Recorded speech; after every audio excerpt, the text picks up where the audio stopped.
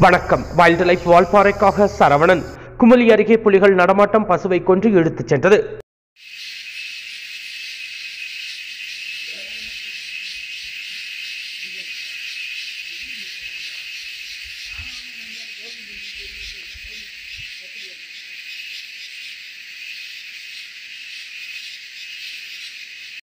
வண்டிப்பெரியாறு செல்லும் சாலையில் தொண்டியாறு என்ற இடத்தில் கோட்டயத்தை சேர்ந்த அலெக்சாண்டருக்கு சொந்தமான ஏலக்காய் எஸ்டேட் உள்ளது. இங்குள்ள மாட்டுத் தொழுவத்தில் எட்டு பசுமாடுகள் வளர்க்கப்படுகின்றன. சனிக்கிழமை இரவு அங்கு வந்த புலிகள் ஒரு பசுமாட்டை தாக்கிக் கொன்று இழுத்துச் சென்றது. மற்றொரு பசுவை தாக்கி காயப்படுத்தின. இது குறித்து எஸ்டேட் உரிமையாளர் அலெக்சாண்டர் குமிலி வனத்துறையினருக்கு தகவல் தெரிவித்தார்.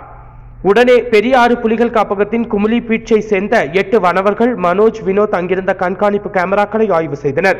அதில் மூன்று புலிகள் நடமாடுவது தெரிய வந்தது மேலும் கொல்லப்பட்ட பசுவின் உடல் அங்கிருந்து அரை கிலோமீட்டர் தொலைவில் உள்ள ஏலத்தோட்டத்தில் உள்ள ஒரு பள்ளத்தில் கண்டறியப்பட்டது.